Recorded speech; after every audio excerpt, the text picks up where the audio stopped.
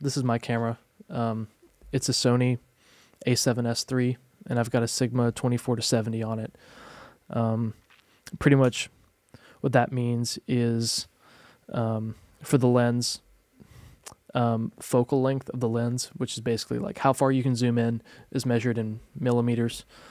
Um, so 24 millimeters is like pretty pretty zoomed out.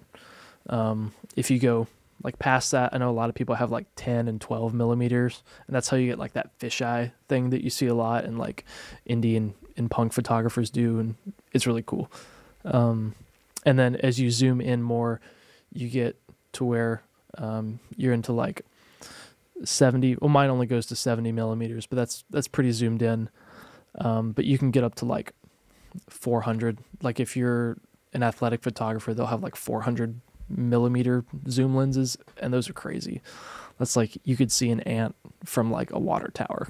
Crazy. Probably not, but it's close.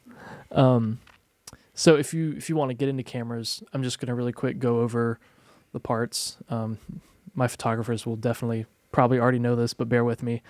Um, the basics are always fun and my favorite. So if you're taking a picture in full manual mode, there's three things you need to be aware of. There's the aperture, there's the shutter speed, and then there's this thing called ISO, um, which is kind of weird, but essentially ISO is how well the camera will do in dark scenes. So like the higher the ISO, the more light it's going to have digitally in the body. Um, but the trade-off to that is it'll be what we call noisier, so it'll have more grain, but not in the good way. It'll lose detail really quickly um, at higher ISOs. Um, newer cameras like this thing can get up to like a hundred thousand ISO, which is crazy, but you start losing detail really definitively um, on like Canon and Nikon and Fuji cameras after 6400. Um, this one is cool, and I start losing like a lot of data around 8000. Um, but I don't like to go that high anyway because I like my photos to be really crisp. Um, and then shutter speed is kind of hard to explain, but that's essentially how fast the camera's shutter flashes. So if you shoot at, let's just do this. I shot this one at a fast shutter speed, so it's probably one three hundredth of a second. Um, is this picture? You can tell it's fast because there's really not a lot of motion blur at all.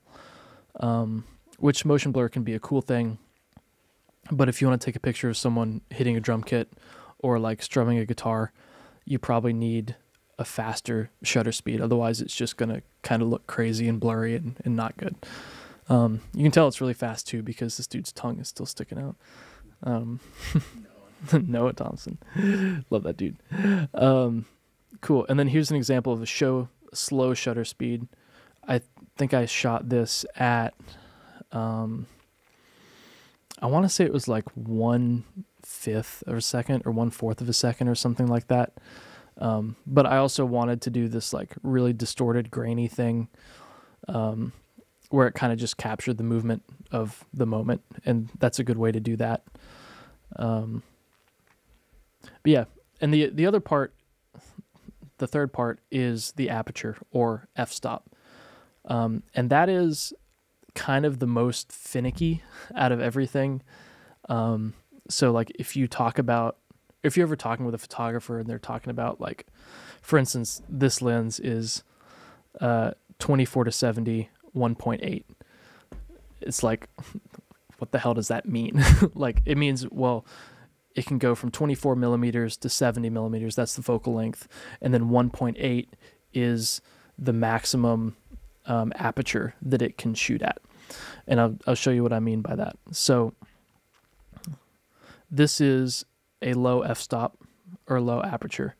Um, you can tell mainly because see how this subject is. Oh my god. Thank you.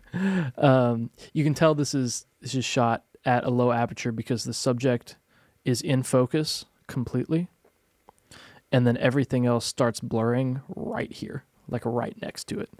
And that's probably like a foot and a half difference right there. I shot this at 1.8. Um, and then it gets really blurry like back here. Um, like even this dude's like kind of clear. This dude right here is super blurry. That's probably like a 10 foot difference right there. Um, so a lower f-stop is equal to a shallower depth of field is what that's called. Um, depth of field is is essentially like how I'm trying to figure out how to explain this how far back the subject looks compared to the background. Um, so like you can tell this was shot in an arena, so you can tell like the seats up here way far back. Um, and you can tell because they look super blurry and you can barely even make out that they're seats and not just some random shadow or something like that. Um, but this is super crisp. Now, if this was shot at a very high f-stop, like f22, for example, um, I think this was shot at f18. Um, this is probably a six or eight foot difference. Um, and then the subject is still in focus. Oh my God, I did it again.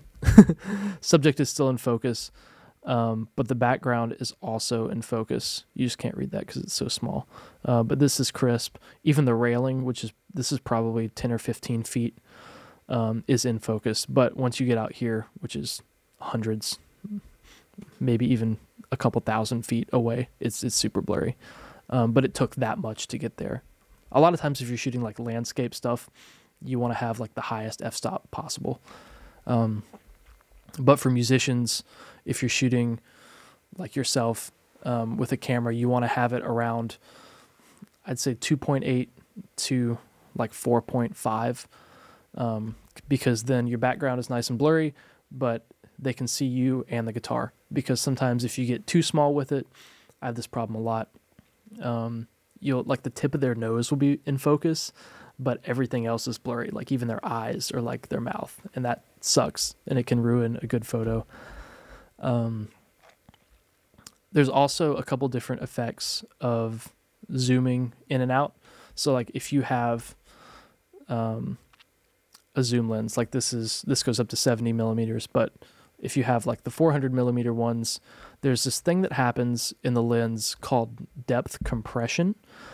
Um, so, in order to make the subject stand out at low apertures, um, kind of what happens is the lens warps the background a little bit to make it seem closer than it really is, but blur it to make make it look farther.